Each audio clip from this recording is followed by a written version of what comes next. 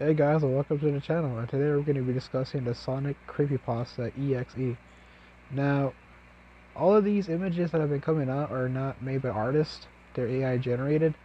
So, also, I will be posting probably another video tomorrow or some other day with the Russian sleep experiment anime girl. And I will be posting a link in the description to a video where it discusses this creepypasta more in depth. So if you don't know what this creepypasta is about, or you would like to know, I will post a link in the description. But that is all for now. Peace.